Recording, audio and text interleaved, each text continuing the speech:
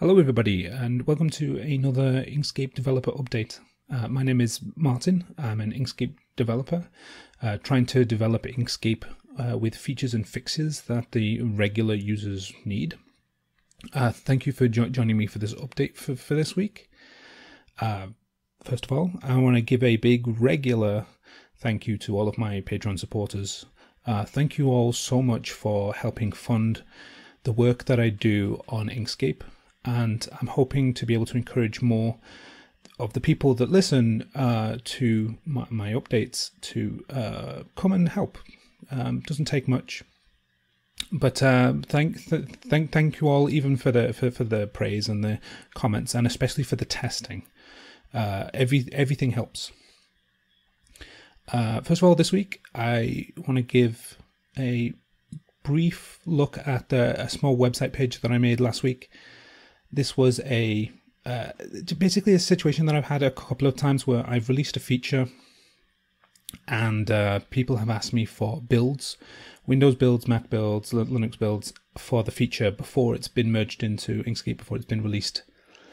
And it's been difficult to show them, um, you know, because you've got a link to specific, very specific pages with lots of squiggly letters in them. And then they change because you commit a new fix and now the link is different. So what I've done is I put together a uh, page on the Inkscape website that's actually generic. It's not just for me. It's for any any development that's currently going on and in progress development in Inkscape. You will see a list of uh, the latest commits, the latest changes, and uh, you'll see whose uh, merge request it is, and then you'll see a link to Linux builds, Windows builds, and Mac builds.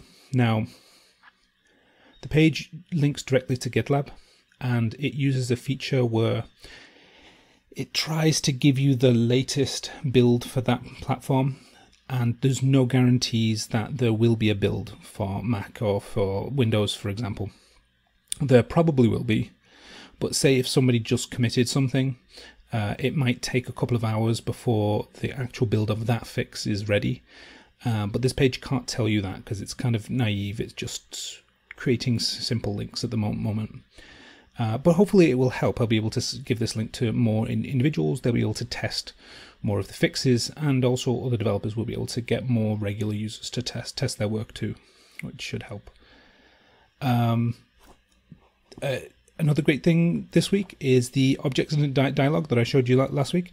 It's merged, hooray, into the main Inkscape development release. That means that it's definitely going to be in Inkscape 1.2 and you can try it right now in the developer builds. Um, we fixed a whole bunch of stuff. Uh, Adam gave me a big long list of stuff to fix and I worked through it. And we we basically have a, a version of the objects in dialog which we think is okay, uh, which is high praise coming from Adam he uh, he he wants more stuff to to be fixed uh, later on. So we're going to do a round two, or we're going to see if we can do a round two to kind of polish it up more.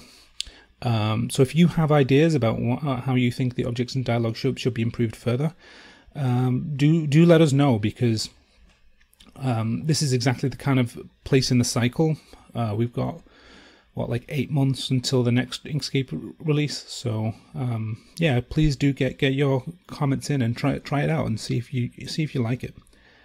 Uh, but one of the great things is that it fixes 21 issues instantly, like that. 21 Inkscape issues fixed. Another eight issues are either partially or maybe fixed.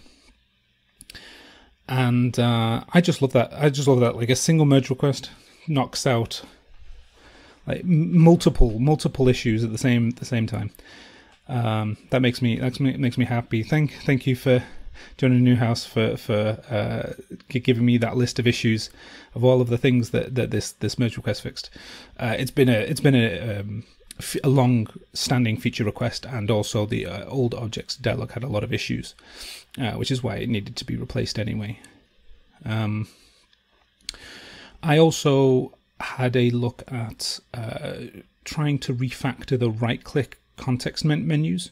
So at the moment when you right click in Inkscape on an object and you you get a little menu that pops up, that is a fixed piece of code that generates that men menu when you right click. and it's non-configurable. Uh, you can't set keyboard shortcuts to many of those functions, and uh, it only appears in that men menu. In fact, some of the functionality literally only appears in that me menu, uh, which is bad. So uh, one of the things that we wanted to do for the objects dialog is actually improve the con context menu, and uh, it looks like we can probably get away with using the existing me menus XML. Like there's an XML file that generates where all of the menus in the top bar will appear.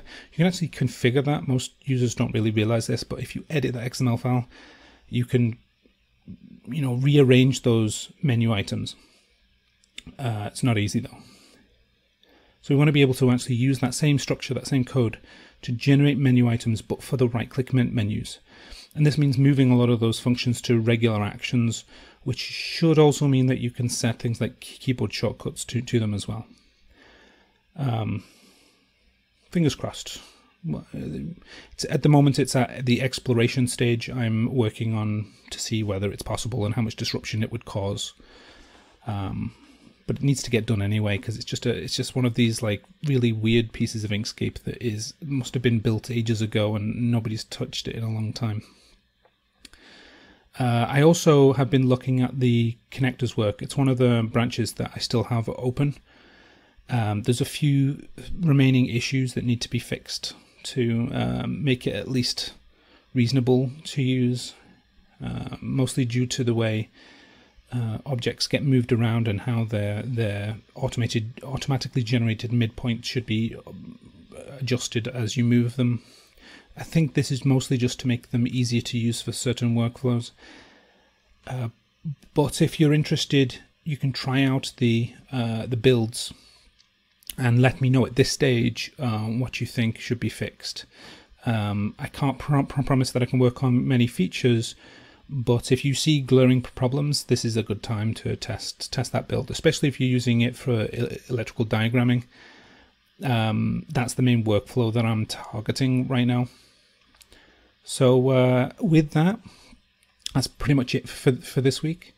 Uh, thank you all very much for listening. Uh, do test the code. Thank you very much for uh, your support, and I'll see you all next week.